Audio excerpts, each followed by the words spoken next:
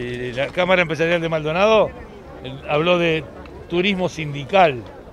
Este, yo no quise ir tan lejos, pero me parece es una falta de respeto al trabajador de Maldonado que está hace un año y medio, casi dos parado y está agarrando algún pesito para empezar a parar la olla. Y que vengan desde otros lugares donde tiene la platita segura todos los meses y buena platita todos los meses sin tener que salir a pelearla, ¿eh? solamente cumpliendo con su obligación, no me parece bien que lo hagan acá en Punta del Este. Y sobre todo además por el encare que hicieron, porque hubo declaraciones generando, ¿eh? hablando de los ricos y de los poderosos, tratando de generar en el departamento una grieta que no existe. Acá recibimos a todos por igual los que vienen acá a turistear, a descansar.